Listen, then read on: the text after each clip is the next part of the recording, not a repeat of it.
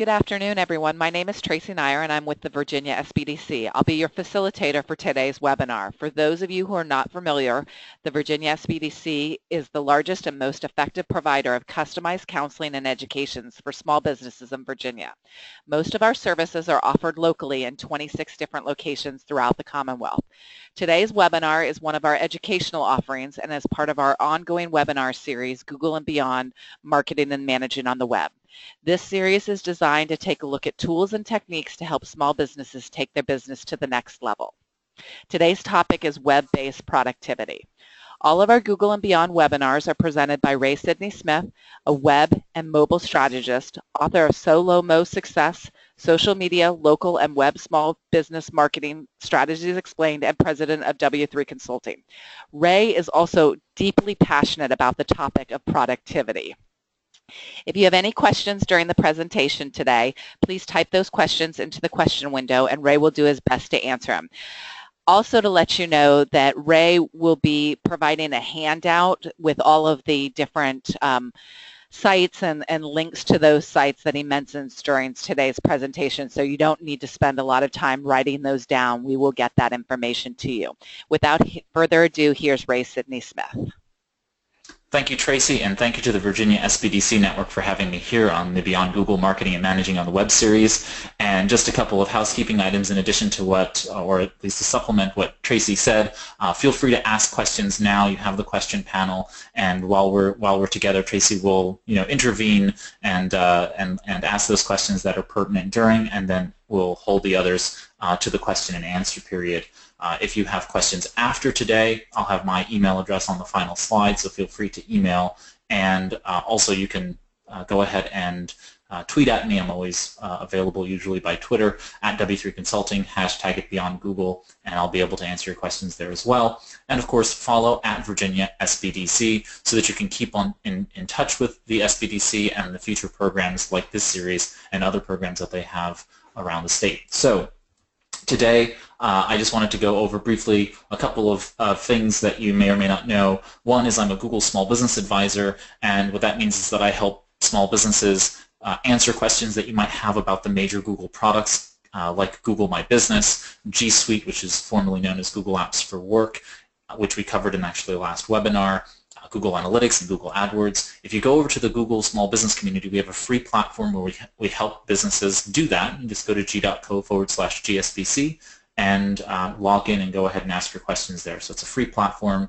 Uh, we do it as a service to small business, so go out there and, and check out that resource. Next, as Tracy said, I'm sort of a super geek when it comes to personal productivity, and, and, one of my favorite tools is Evernote, which I'll be talking about very shortly. And in 2015, I became an Evernote certified consultant uh, for my uh, enjoyment of the product and also to help businesses implement it in theirs. So just something to know about me.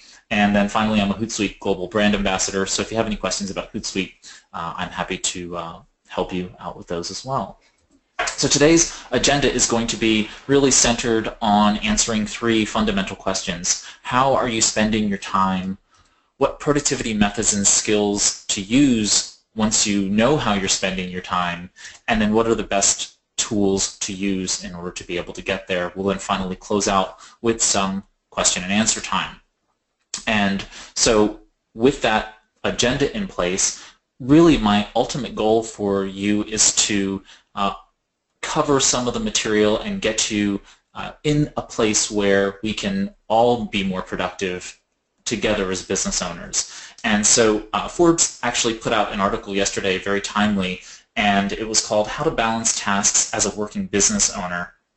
And the the journalist who wrote the, the article, he brings up some really great points, and I put a link to it in the handout that you'll get after the webinar.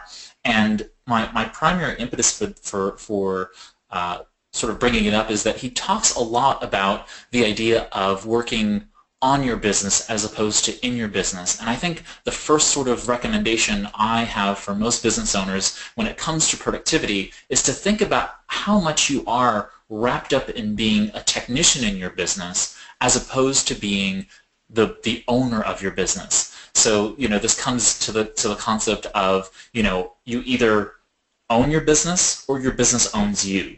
And in order to change that paradigm, you really need to think from a systems thinking approach and really get from that, from that level to a place of focus, organization, and motivation. And so just to start off, right now, what are you thinking about? What has, you what has your focus?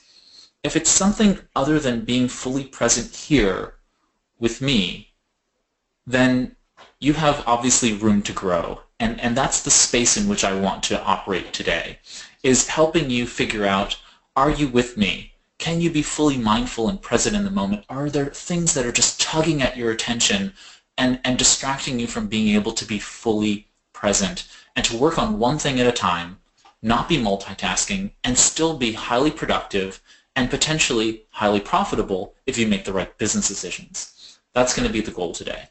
So we're going to be really trying to avoid this. Uh, this is, a, I'm guessing, a productivity enthusiast who uh, chose to tattoo onto his or her arm a uh, to-do list, and then they write in uh, in black, I'm guessing marker of some kind, uh, their to-do list items, and there looks like some grocery items and, and some other things. Uh, so so you know we want to avoid this, right? This is a little bit extreme. We want to we want to dial it back so that we can actually have the the space, the room, uh, what uh, Dr. Viktor Frankl talks about, you know, the space between stimulus and response is control. We want to have a level of control where we don't have to go to extreme methods in order to be able to be productive. And so ultimately, the goal is to be focused, it's to be organized, and to be motivated. And that will be central, the three central sort of themes of today's discussion. It's being focused, organized, and motivated. And the first stage of that is really to figure out, from a focus perspective, how are you spending your time? So often I meet with small business owners and they couldn't tell you what they did an hour ago, better yet how they spent their last several months in a startup phase or even how they spent their, their last couple of weeks doing X or Y projects for X or Y clients. And it's really important that you sort of think about your focus as being something as your primary asset in your business. What you attend to is what you get done. If you don't focus on things, then you are out of focus or what we call distracted. I call distractions basically focusing on things that you don't plan to focus on. So if you plan to focus on something, if you plan to attend to something, then you are focused. If you are focusing on something, if you are tending to something that you didn't plan to, you're distracted. Very simple paradigm, but it takes out the negative sort of connotation there. Uh, this is not meant to be uh, you know, judgmental or otherwise. This is meant to be able to identify what things are distractions, right? Distractions are basically everything you chose not to attend to right now, today, at this moment in time. And so, you know, many times it, it takes you having to say, okay, well, I'm going to set aside, I'm going to write down these things that are on my mind, so that I have a sustainable solution and then come back to the thing that I, I, I wanted to focus on, which hopefully is this presentation. So I like to keep honest people honest, and that means using some methods to be able to figure out what's going on in your world and uh, tracking it to be able to objectively see whether or not you are actually doing what you say you're doing.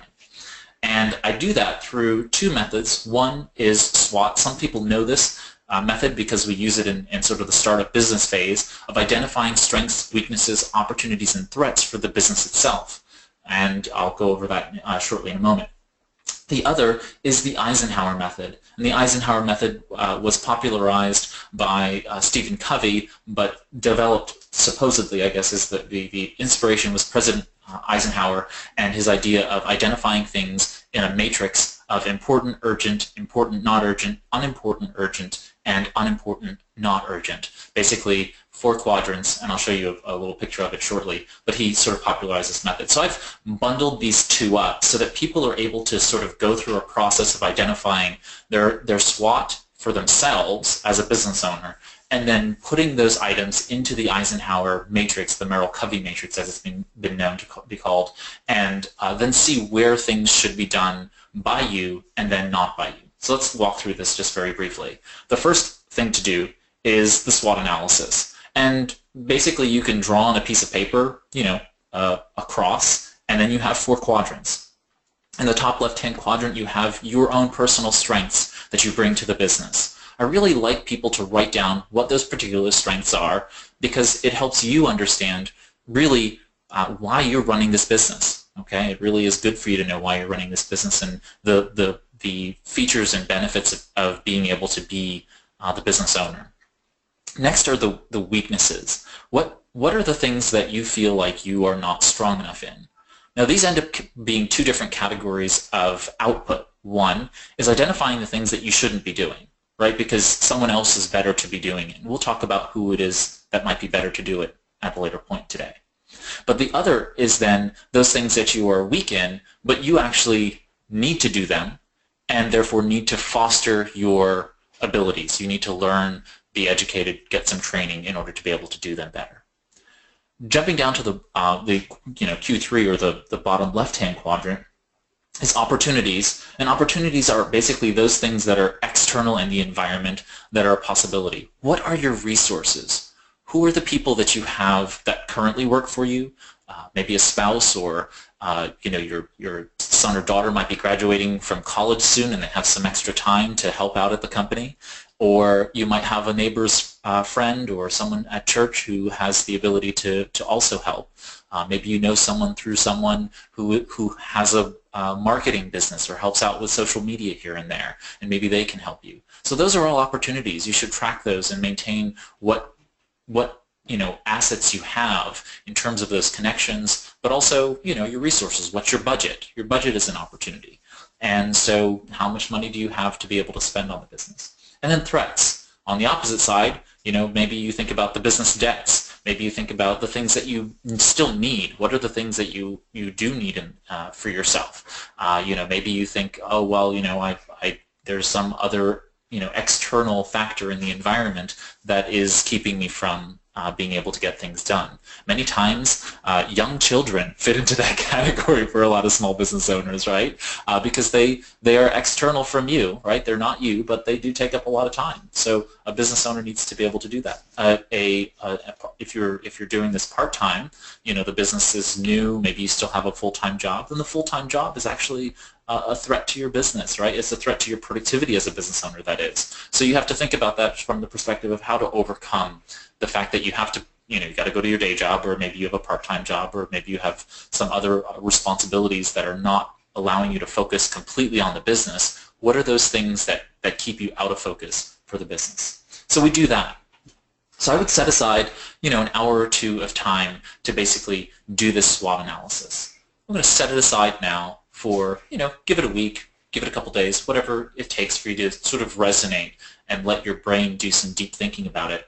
And then we're going to come back and we're going to look at it through the lens of the Merrill-Covey matrix. And so this is a sample of a Merrill-Covey matrix and, uh, and just some sample items in it. But the, the idea here is that you, again, take a piece of paper, you have quadrant 1, 2, 3, and 4, and they fit each a category of urgent, important to not urgent, and unimportant, okay? And so now what we want to do is we want to place into those, those, those areas everything you wrote down in the Merrill-Covey matrix, you want to identify a next step. What is it that needs to be done in order to be able to move your business forward, that is you to be productive in moving your business forward, and put it into one of these quadrants, okay? And once you do, you can start to identify that things that are important but not urgent tend to be the most important. The things that are important and urgent, you recognize that they need to be done now, uh, but you know they just need to be done now because they're important and they're urgent. The things that are not important but urgent, okay, tend to be things that can be delegated or outsourced or just not done at all. Then the things that are not urgent and not important might be trivial matters to you, but they need to get done anyway. And so therefore, again, you need to decide whether or not you're the best person to do it or utilizing a time in your week or month when you have some downtime to be able to get those mundane, trivial things done, but they shouldn't be done during the prime high energy times of your day. And I'll get to that in a moment and why that's so important shortly. So again, you're going to set aside another probably hour or so, and within that two hours to four hours of time over the course of two weeks, you've been able to flesh out very clearly an action plan for being able to revitalize your productivity just by identifying what you should be focusing on. And literally, that list becomes, okay, I need to focus on these things every day over the next X amount of time in order to get it done, based on your estimation of how, how long each task would take. So you're able to now really focus and really get your business moving by looking at those things. And you can do this over and over and over again because as many times as I do this practice is as many times as it will be different because you never step in the same productivity river twice, right? It's your your productivity is going to be very different at each stage in both your life and business. So think about doing this uh, on a maybe semi-regular basis, maybe once or twice a year. Ray, before you move on, why is block two highlighted in yellow? Uh, that that just happened to be what Wikipedia highlighted. Not sure. no, no. There's there's actually no uh, uh, no specific importance to me except for the fact that um, important, not you know, not urgent items tend to be the thing you should focus on in uh, the, the sort of Stephen Covey world. So he talks about using Q2 as your primary focus because because it's important but not urgent, you tend to set those things aside, and those tend to be the, the most important items. So I think that's why that's particularly highlighted. So continuing on, one way to then sort of what I like to say is keeping honest people honest in this, this sort of time tracking piece is once you've identified these things, uh, you sort of have to figure out where you've been spending your time. So many business owners tell me, oh, you know, I'm so busy. And I say, yeah, you're being busy, but you're not really being productive. And this busyness in the business is actually being counterproductive. So let's identify what you're actually doing and how you're utilizing your time. And one of the best ways to do that is if you if you currently track hours for billable hours, you can do like what you know a lot of professionals do. Track your billable hours and then track your non-billable hours as well. So if you plan to work from 9 to 5 every day, I don't really know any business owner who only works from 9 to 5, but just let's, for, you know, sake of argument, say that you work from 9 to 5, you should be able to track your billable hours for those times when you are supposed to be working. How much time goes into each of the categories of work and non-work and whether or not those the work that you did was actually viable billable time and that which was not. Okay, and if you if you are not in a billable environment, I still recommend that you do it because you can identify this was something that is a something that is profit making or not profit making, right? So you can you can identify the category just like keep a track of your time for just two weeks. Two weeks is usually a good amount of time to to, to see, but basically during working hours, how how are you tracking your time? You're going to be tracking your time, and how are you utilizing your time for non-money activities and money activities. And I know that life isn't quite that binary, but when you're at work, it can be. It can be as easy as identifying this thing was profit generating, this thing was not. Okay?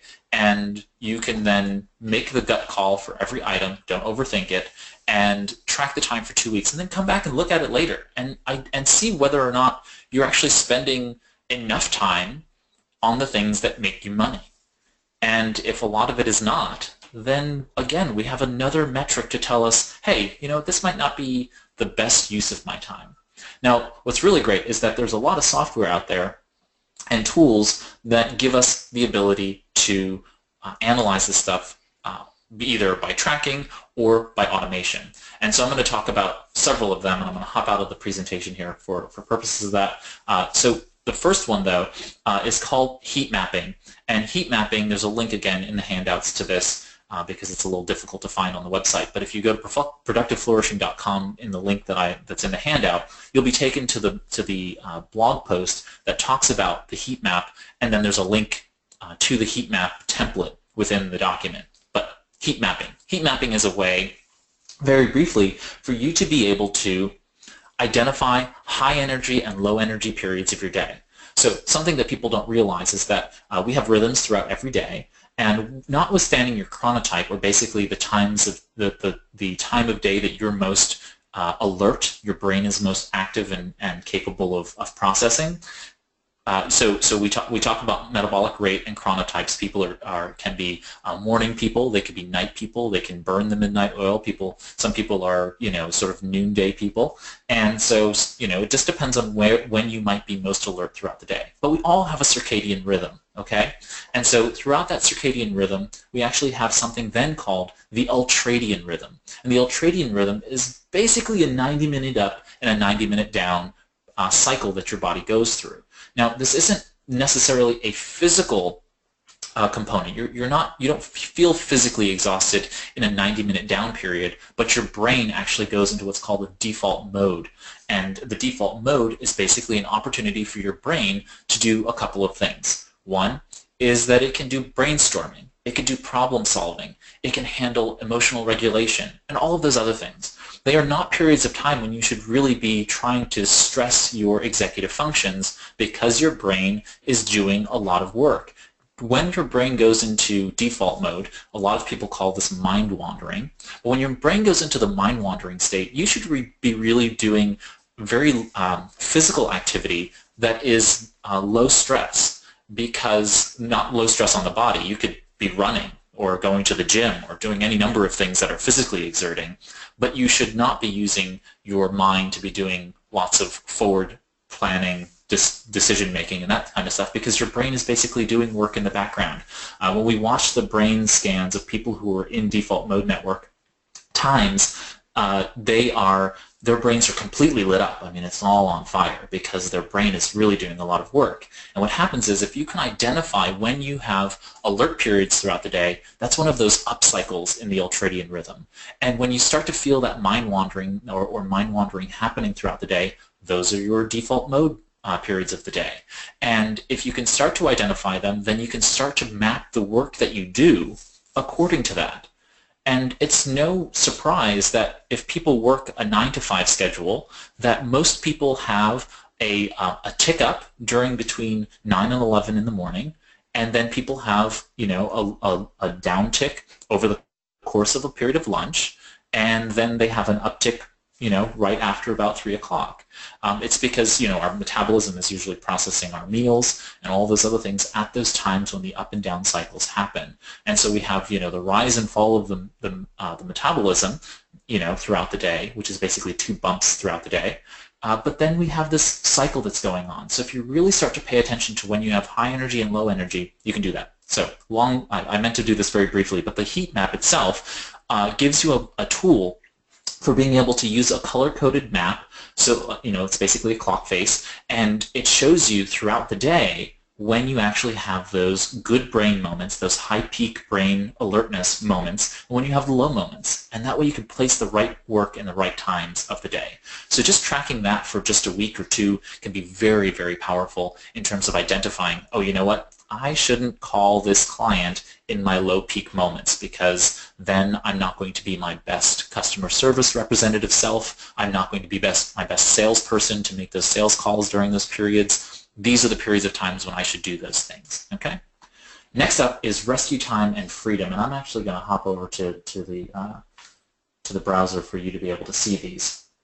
Uh, and so the first app that I really love is uh, called Rescue Time. And Rescue Time is amazing uh, because Rescue Time allows you uh, to go ahead and track your time automatically and then it gives you a, a productivity score. Uh, basically, it tells you uh, let's see down here, it gives you a productivity score. There you go. So it basically tracks your activities online and allows you to be able to do that. And that's built into the free application. It just basically tracks in the background. It sees what websites you visit, and it, it sees how long you visit them, and whether or not they're categorized as being uh, productive places that you're going or not. And then you can uh, you know, see your score but the premium uh, package has a wonderful tool in it called um, you know, the, the, block distracting sites feature.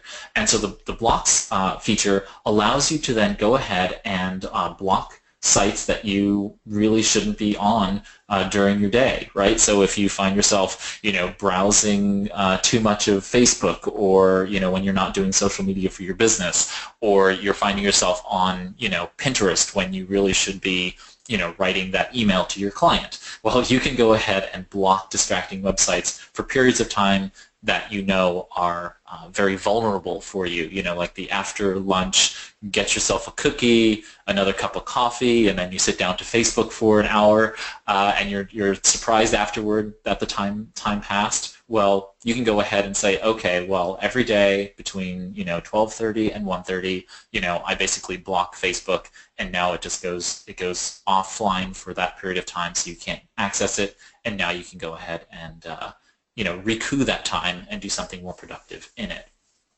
Uh, one of the competitor applications to it is an application called Freedom, and Freedom is a little bit more powerful because Freedom is actually a, a an application that you install on your uh, iPhone, iPad, your uh, Apple Mac, or Windows computers. So those are the four supported platforms. And you can install it on your computer, and then it tracks the software that you're using in addition to what you're doing on the internet. And it also has a kind of nuclear option that allows you to like turn off the entire internet on your computer for some period of time. So it like blocks the internet if you need to get focused time to work on, say, writing a blog post or something else like that, and you find yourself distracted by other things, you know, again, Facebook, Twitter, you know, uh, and Pinterest and so forth, you can go ahead and block those, and that way you can't access them in, until that time uh, frame is up. So very, very helpful.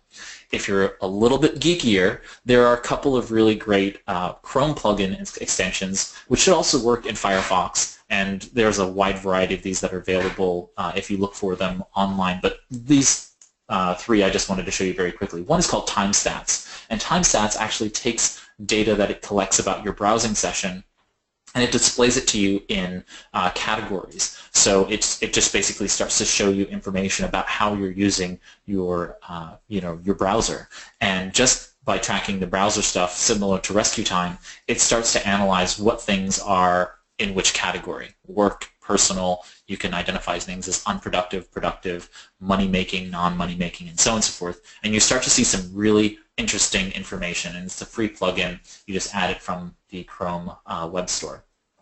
Now, these are two different plugins. One's called uh, History Trends, and the other's called History Trends Unlimited. History Trends, I think, is usually more than enough for most people. But what this Chrome extension does is it goes ahead and takes your, your browsing history uh, three months worth of it because of Google's data limit, and it will show you three months of history to see what are the most visited websites. And this can give you a pretty quick identification of where you're spending your time uh, especially online, and then allow you to sort of back off of those things. So if you see that your number one, you know, visited site online is Facebook, uh, you know, you know that it's going to be uh, something that you want to do, or your favorite blog, or your favorite this or that, where you like to, you know, YouTube, you know, again, spends people spend a lot of time on YouTube you can go ahead and identify those and then be able to just curtail that back. And if you curtail it back just ever so slightly, you can you can identify hours of your week that have been sucked up by five minutes here and five minutes there of watching uh, potentially unproductive stuff. Okay.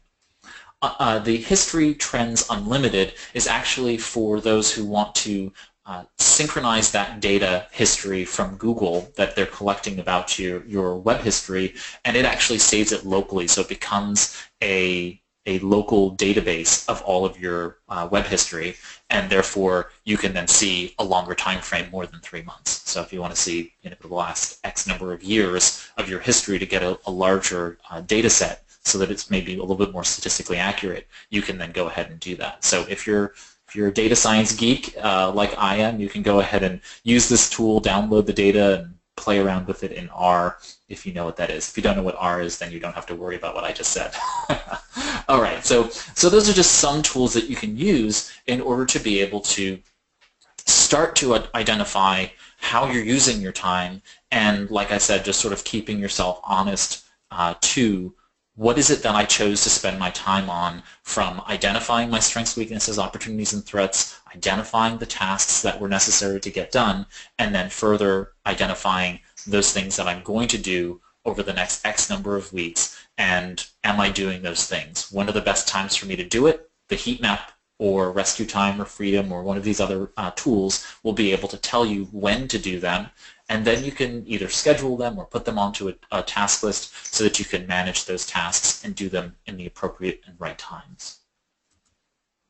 So the next up are basically productivity methods you can use. And this falls into the category of organization and motivation. And right now I want to sort of cover getting organized. And so getting organized is really the function of basically looking at the various opportunities for being able to take those things that you need to get done and putting them in places that you can't forget those things to be done, right? You want them to basically be in your way at the right time and place. And so that's what a trigger is, right? So a, a, task list or a calendar event record or anything like that is nothing more than something to trigger a behavior at the right place and time. And so we really want to be able to learn how to best utilize those triggers to help us get those things done. So I'm just going to uh, cover briefly some of the materials that I recommend highly to everyone all the time, and so I just think that it's good for me to, to go ahead and do that now. Uh, one is the book Getting Things Done, which I've talked about. I think I did a webinar uh, here on uh, for the Virginia SBDC uh, called uh, uh, Time Management for the Busy Entrepreneur. I think Social Media Time Management for the Busy Entrepreneur. So if you go to the virginiasbdc.org website, it should be there in the archives. And, and I talk a little bit about the Getting Things Done methodology, but basically the book itself is a, an, a how-to manual on developing a productivity uh, you know, system for yourself. So it's a methodology and you build your own system. And so Getting Things Done is a fantastic book and there's a link to that in the handouts. The next book is for people who suffer with a bit of procrastination issues. And this book is Eat That Frog. It's by uh, Brian Tracy and he gives 20 different uh, methods for being able to, I guess, tactics, and more tactics, uh, than a strategy. So it's a, a, a, a, tactical book that gives you these 20 different tactics to be able to handle and address procrastination if you have that issue in life. So highly recommend it. Uh, you'll re recognize that we all procrastinate in some way, shape, or form in our worlds, but some procrastinate more than others, and when it becomes a little bit unhealthy and therefore less productive for us, Eat That Frog is a great read. It's a quick read, great read uh, for doing that. The next one up is uh, is the Pareto principle. Uh, for those of you who don't know, uh, Vilfredo Pareto was a, an Italian economist, and he uh, studied uh, the wealth of Italian uh, landowners. And what he recognized was that the wealth or the land ownership throughout Italy at the time that he was doing this study was that the, the that 80% of the land was actually owned by 20% of the population. And so land ownership was this locked-in piece of, of the, at least the, the land ownership economy, of, of, the wealth of this country back then, that was primarily the economy, right? You know, it's, it's land ownership.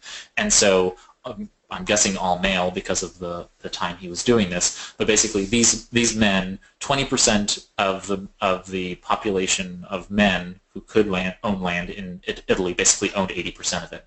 It's been used in many, many different other iterations over time, and I tend to apply this to productivity, which is say, to say that you can take 80% uh, of your activities and recognize that they probably represent 20% of the value you provide in your business and vice versa, which means that if you think about it from the perspective that 20% of your time probably accounts for 80% of the value you provide in your business, and you can then start to create compound productive benefits by reducing that 80%. Obviously, at that point, the Pareto principle doesn't apply anymore as you create more, uh, you know, uh, levels of of efficiencies and streamlining, right?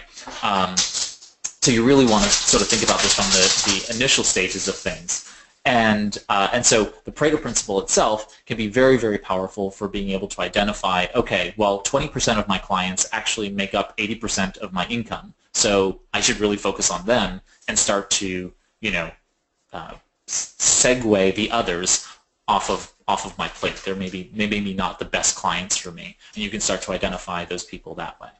Uh, the next one is the the Now Habit. It's a book by Dr. Neil Fiore, and uh, again, it's a book about procrastination, but primarily, I really love it for something they call the unschedule. And I've done actually a tutorial on my website about this, and there's a link to this in the handout. But it's really important for people to recognize that the unschedule uh, is a, is a tool for being able to look at your life in, in a calendar view and be able to identify those things that are, uh, you know, already in my calendar. So like, you know, I'm, I'm going to eat, I'm going to sleep, you know, I'm, I'm going to go to my X class, I'm going to go to X client meeting, I'm going to go to, you know, uh, whatever other things you have already in your schedule. And so between sleep and nutrition and going to the gym and all of those things, you already have a, a, a number of things that are anchored into your schedule once you do all of that, you then have to put in some uh, personal time, right? You have to put in some time for you to have time to yourself. Uh, that might be leisure, that might be going to church, that might be going and having some time with friends. Uh, and then after that, you know, is basically the rest of time, the time for you to work, right? That's that should be uh, understood. Uh, well, most people do it the opposite way, right? They they try and look at their schedule they try to get everything uh, sort of outlined for what they're going to do, uh, but then they don't recognize all of the other things that are uh, competing with that, like having food, eating, and sleeping, right? Uh, and then they, they don't understand why their life is sort of unbalanced and out of out of sorts. This reverses that so that you're actually put, capable of putting in what are the things that you need to do that are already booked, what are the things that you want to do that rejuvenate you, but what, what Neil Fiore, Dr. Fiore calls uh, play, but I really like it like to call it rejuvenation, uh, revitalization, if you want want to think about it that way. But it's really that idea that you've got to keep feeding the flame so that you don't uh, burn out. Uh, so very, very powerful technique. I, I highly suggest you check it out. Then the final one is the Pomodoro technique. And those who are timed do more, period right? And I'll, I'll give credit to uh, a great productivity coach, Natalie Houston, uh, out of uh, Boston, she talks about this idea that if you if you if someone is has a timer on their desk, if someone's being timed, then Parkinson's law takes over, right? You you know that there's a time crunch, and therefore you're going to make the work fit to the time you provide it. The Pomodoro technique is one of those. So the Pomodoro technique basically says you work for X period of time, you take a small break, and then you work for X period of time, and then you take a small break, and then you keep repeating those over and over again, what are called pomodoros, so basically periods of time. Pomodoro is tomato in Italian, and uh, and so the the developer of this uh, you know this technique then allows you a, a, longer break after you do a certain number of pomodoros. I think it's three pomodoros. Then you take a longer break, and then you basically repeat that uh, you know for as long as your workday is. So these are some methodologies that you can use, and I don't have time today, obviously, to flesh all of these out too much, but these are things that you can look into to really identify what works for you, what your style of, of productivity is, and whether or not they can work for you. I highly recommend people think about this from an experimental perspective. Think about this from a scientist's perspective. These are experiments. Don't think of yourself as having failed or you're bad or whatever it might be just because one of these doesn't work for you. Nothing works 100% for everybody, and certainly some of them will not work at all for you because of your personality, your history, and your various skills, the strengths and weaknesses that you bring to the table. So really you have to find one that fits you. So I can't tell you which one that is, but here goes some resources that you can use uh, to sort of figure that out through some experimenting. Next up is motivation. And I know that it's really tough to sort of think about motivation from uh, a, a more concrete, practical approach, but I really do see it that way. You know, when it when it comes to focus, habit, and motivation, you know, being focused, organized, and motivated, it is actually that simple as identifying those things that help you be motivated.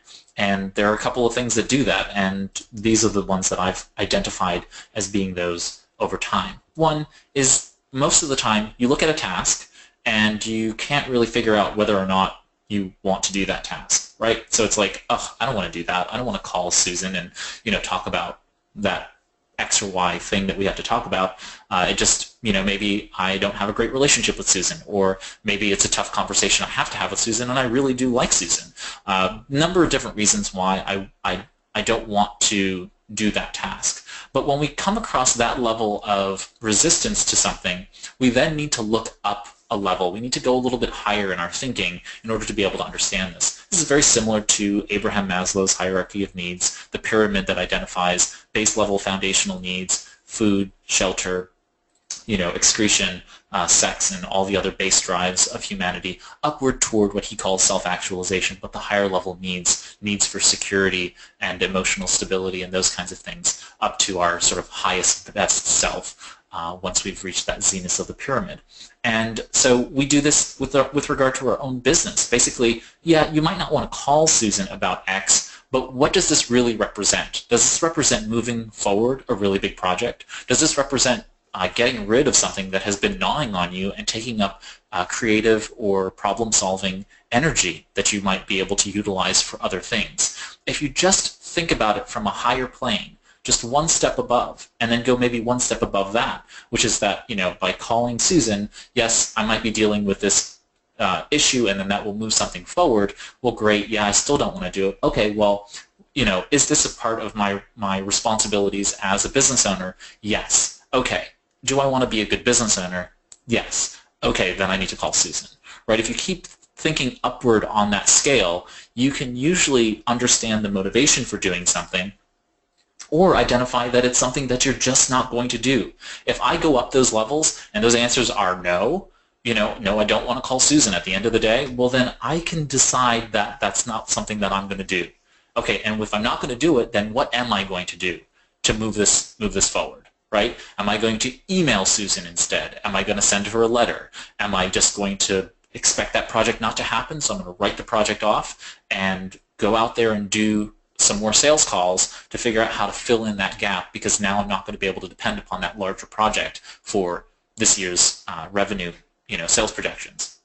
So figure those things out. So identify your reasons for being in business to be able to get yourself to understand why those smaller tasks are attached, those potentially mundane tasks are attached to the higher being of being in business. So I usually like to start out with saying, okay, well, why are you in business? And for you to write out those on a document, it could be a post-it, it could be a sheet of paper, and uh, and then you know just put it up on your wall wherever you work, so that you're able to see why you're in business. And when you come across these issues, you can start to to close the gap between what it is I have to do right now and how it's attached to the things that are that are written down in concrete terms. So you can see oh okay this thing that I have to do it's attached to this this reason for me being in business. My goal to be financially stable. My goal to have a good retirement. My goal to provide for my family. If I call Susan will this help me toward those goals? Yes or no? Yes? Great I'm going to do it. No? Okay find another strategy. Find another tactic Okay.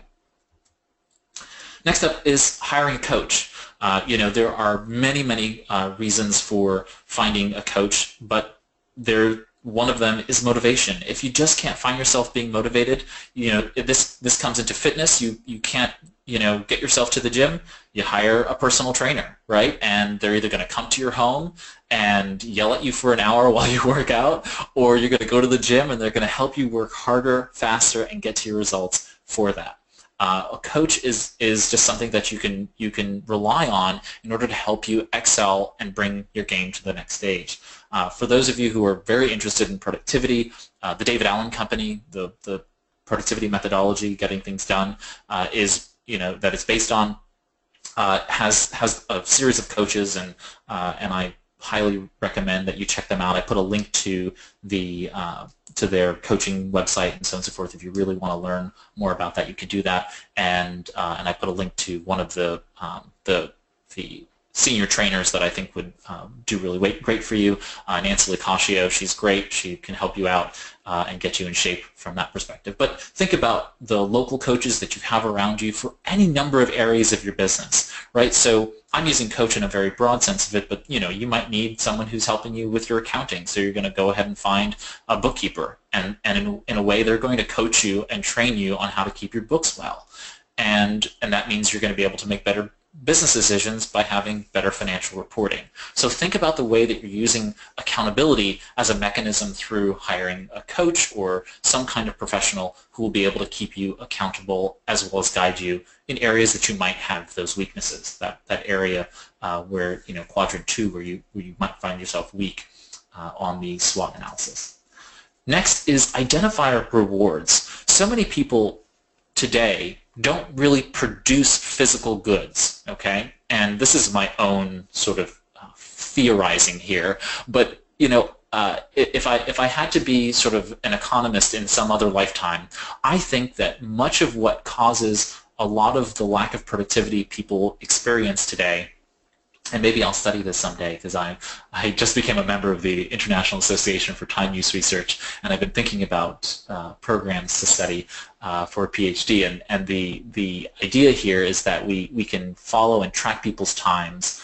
Uh, try track people's time to be able to identify their behaviors, um, more a sociological perspective. But I think I, I'm thinking of it more from a psychological perspective. And you know, but the reality is, is that since we don't produce things, we don't go to a factory, produce something, and then we go, oh, great, look what my hands did. I produced X. You know, many of us don't even make our own meals. We buy all of our meals packaged, ready to go. It's very convenient and very productive, yet for some reason, it doesn't feel as satisfying because we haven't done it ourselves. So having some kind of reward, some physical uh, thing to see because we did X or Y is what helps feed the pleasure centers of our brain.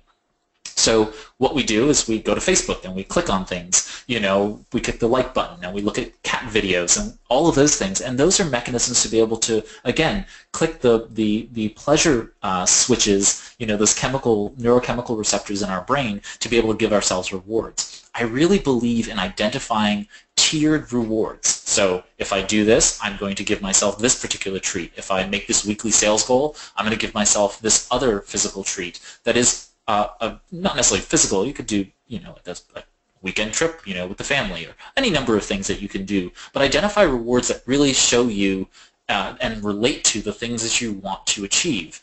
And those types of tiered rewards are very powerful for being able to motivate you toward them. They need to be short term. They need to be appropriate to the to the you know thing that you're doing, right? So if I'm going to uh, you know, you should basically consider it a commission for, for making your weekly sales goal that you're going to do something that's going to, you know, benefit you personally for being able to do that, you and your family potentially. Uh, and then making sure that it's healthy, okay? So it's not, oh, you know what, I'm going to make these sales goals, and then when I get home, I'm going to drink an entire bottle of wine. Uh, you know, maybe a glass of wine uh, with dinner is, is probably better than drinking the whole bottle uh, for being able to make uh, your sales quota for that particular day, right? Just think about this from a more practical perspective and from an appropriate perspective. What is it? What is the appropriate reward for being able to achieve X or Y? And what you find yourself doing is you find yourself getting more and more done because you are looking forward to the reward. And over time, you may not even need the reward anymore because of the outgrowth of the productive outputs. So think about, you know, maybe weaning yourself off of some rewards over time and then appropriating those rewards or other rewards for other goals that you might have in your life. So you might say, oh, you know what, if I run this marathon, at the end of the marathon, I'm going to take a, a, a you know, a, a little trip, or I'm going to eat you know, I'm going to have a day where I just, you know, eat all the junk food and stuff that I really love uh, eating, you know, that that particular day fine, you indulge a little bit, uh, but, but everything in moderation. The other is that related to rewards is setting short-term milestones. It's really important for you all to really set short-term milestones uh, because the the shorter the the time horizon to achieving whatever you're trying to achieve becomes more achievable, right? It becomes more doable, right? So as you go out on a time horizon, right? Like if I want to buy a home, well, buying a home seems like a far out kind of thing, right? That's like several months to, to maybe six months based on looking at homes and dealing with the mortgage company and appraisal and title and all the other things that need to go into getting that settlement scheduled. Well, if I set the shorter term milestone as basically getting qualified for a mortgage, well, that's that's a really short-term goal because all I have to do is send an email to my bro- you know my broker or my mortgage lender or my bank, and say, hey, what do I do to get uh, pre-qualification to know how much I can afford? They'll say, okay, well, you know, let's do a run of your credit report, and maybe they need a couple other documents, and boom, it's done. Well, what's the appropriate reward for getting to that goal to get me on the way to buying my home? well, I can set something really, you know, I can maybe, you know, take, uh, you know, go out to dinner, you know, uh, with a friend or something else like that as a as a reward for for getting that done, and that's much more doable. I get my pre-qualification, boom. What's the reward? Go to dinner. I can call a friend and say, hey, let's go to dinner. I just got pre-qualified for X amount of dollars for you know to go buy a home. I'm that much closer to buying a home. I get to feel good about what I've just done, and everybody's the better off for it, including your friend who you just got to who just got a free dinner, I guess. okay, so um, in the sort of last uh, bit of time, I wanted to cover some of the tools you can use, and I'm not going to uh, belabor these very much because they're in the list of, of in the handout, so you can go ahead and check them out on your own time. But there are some really fun tools and very productive tools that you can use uh, for being able to increase your output. And so first up is Evernote, which I've talked about before in other webinars, but it's basically a note-taking uh, software, and uh, we'll probably have to do a webinar on sort of Evernote as a productivity uh, tool and system uh, maybe later on this year. But the idea here is that Note, Evernote actually acts as, as a bit of a knowledge management uh, tool. So you can not only track tasks, but you can also track reference material. You can track all kinds of things within Evernote. It's a very flexible tool, and it, it's one of the most highly integrated tools uh, in, in, sort of extensible tools that's on the market. So you know, there's just everybody, not everybody, but many, many people, many other software, many other hardware uh, vendors out there connect to Evernote. So it becomes a sort of central repository for, for the knowledge in your life from, you know, uh, you know, pictures of, of, of receipts to, you know, where do you keep your, uh, you know, your uh, Christmas decorations in your storage unit to all not, all manner of things, right? You can just basically capture ev into Evernote in uh, video, audio, text, you know, documents. You can put documents into it. Any number of things can go into this uh, repository, and then you're able to search it to be able to find it and sort of surface it again when you need to. Evernote's a great product. Next up are task managers. And these are just some of the task managers that are, are on the market, but I always recommend that, that people sort of look at task management tools so that you're able to manage your lists better. And that could be an Amazon wish list where you keep all of your, your, your groceries or uh, things that you want to purchase on Amazon or not. Uh, but it's a great free tool that lets you keep you know, lists of things you want to buy. Uh, so you can find these bespoke you know, software uh, you know, solutions to be able to do that and these are some of those that manage tasks. Uh, Google Calendar is one of my favorite tools in, on the planet, uh, but Google uh, has the calendar function, so you can put events obviously in there. You can put all-day events, uh, recurring events, those kinds of things. Uh, but you can also put in what are called reminders, so basically tasks that you need to get done. You can go ahead and embed those within uh, Google Calendar and then you create what are called goals. And goals are like, I want to go to the gym three times a week. Well, you can tell uh, Google, I want to go to the gym three times a week.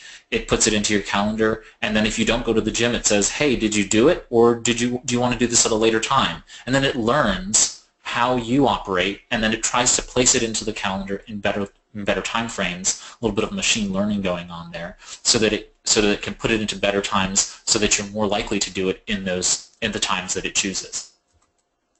And then there's workflow automation. I can't get into it now, but there's a ton of ways in which you can automate a lot of these web uh, tools that are on, on you know, some a lot of these web tools. So um, IFTTT, Zapier, Microsoft Flow, which is a, a I, I can't believe I'm saying this, but a phenomenal product that uh, Microsoft is putting out. And, uh, and, and the idea here is that you're able to connect multiple disparate services. So for example, if I uh, put uh, post a tweet with an image in it, well, I want that tweet to also be posted to Facebook on my Facebook page uh, with the text of the tweet. And I also want it to be posted to Instagram um, or other places like that. Or I think it goes from Instagram backwards. I don't think you can post directly to Instagram.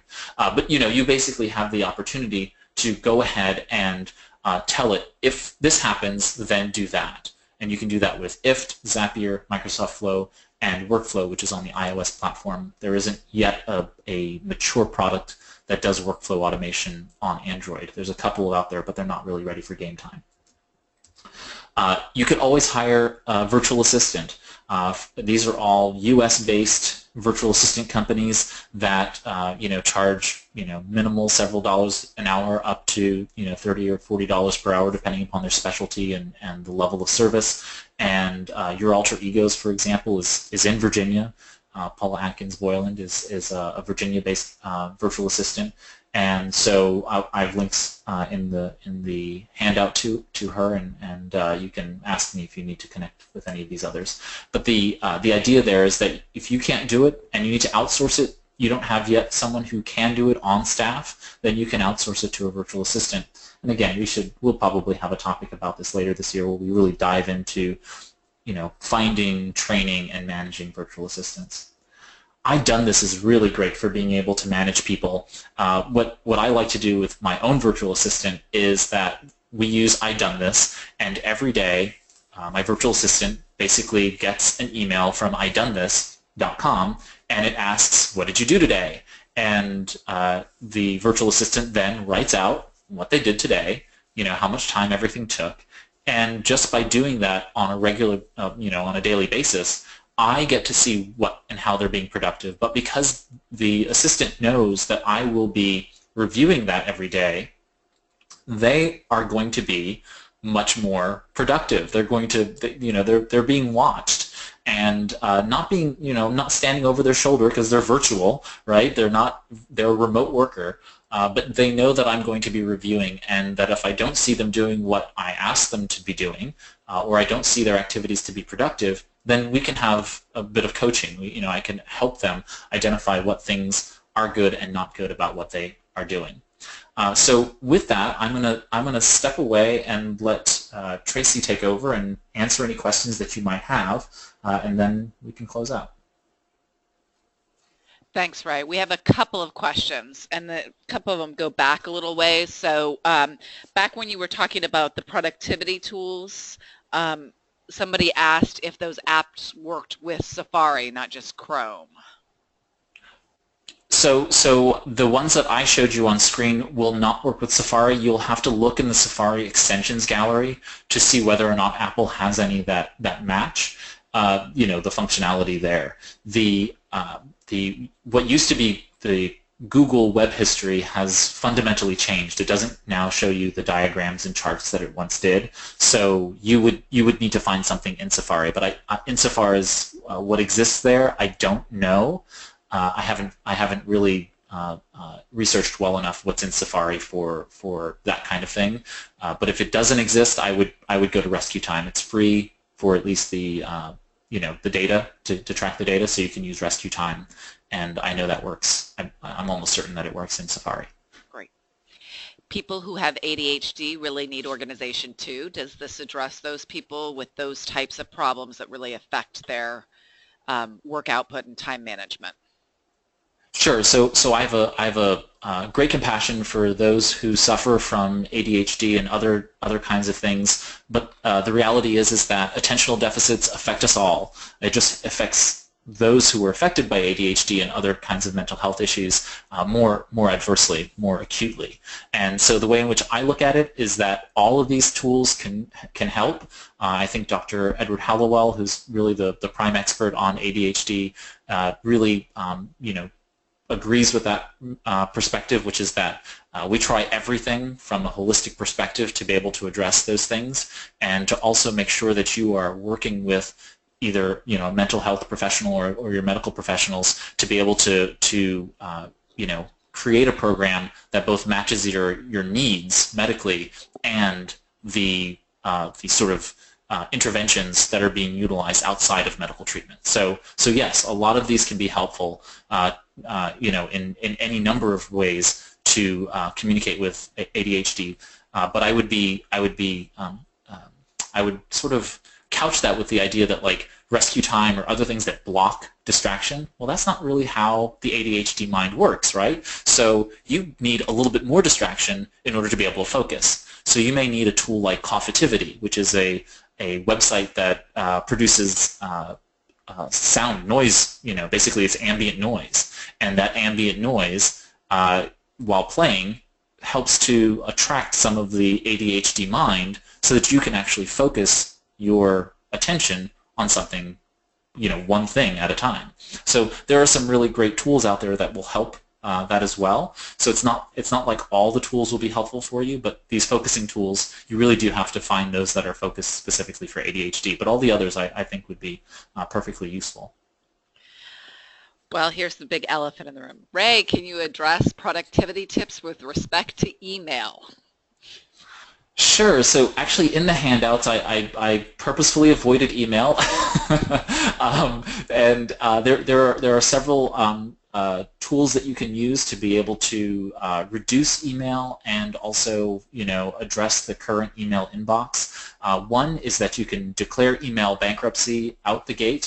Uh, so my, my standard rules are declare bankruptcy, right? Take everything in your inbox and immediately move it into a temporary holding space and you know just call it to be processed and start from scratch. And every day you clean your inbox uh, like your life depended upon it.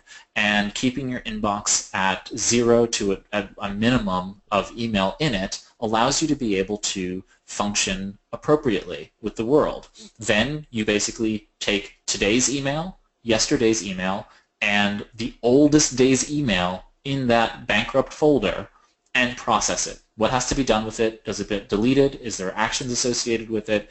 Or does, or does it have to go to someplace else? Or do you have to reply to it? Those kinds of things. So uh, you do that over time, then you work yourself out of the hole that is your email. But it's really important to deal with today, yesterday, and the oldest day's email. And to be quite honest, you know, most of that email is trash. So you could probably categorically identify email, you know, do a search based on category, highlight, you know, all the email from your the newspaper that you you know the news outlet that you subscribe to or the email newsletters that you subscribe to and just delete them you know or archive them if you're afraid of deleting uh, but you can really do a lot in terms of culling that down to a, a minimum and then dealing with today and yesterday. That way you're always cleaning up the rear guard, right? So if you missed yesterday, you're always going to handle today's email and yesterday's email, at least on a daily basis, and the oldest day's email. You didn't create all that email backlog overnight, and so you should not plan to actually address it all overnight. And so if you need to triage, identify specific emails to, you know, respond to those and deal with those immediately, fine, uh, but keep that to a minimum because the reality is, is that that email is six months, a year old. Nobody is expecting anything yet from you for that tomorrow. So you might as well work through it in a, a, logical method, you know, methodological perspective. And I find that the today, yesterday, and oldest days email technique really works for a lot of people, especially once you've taken that email out of your inbox and now you actually see what your daily influx of email is. Great. There are no more questions. So thank you all for participating today. Today's webinar was recorded and it'll be posted on the Virginia SBDC website under live webinars and recordings. Tomorrow you'll be receiving a follow-up email on the webinar and there'll be an evaluation link in that email. Please help us to continue to improve our training by taking the time to complete the evaluation. If you'd like to fill the evaluation out now, I did post it in the chat window and would love for you to do that. Our next webinar is on the 23rd of February, how to write your next book using a small business blog. Thank you everyone for participating today.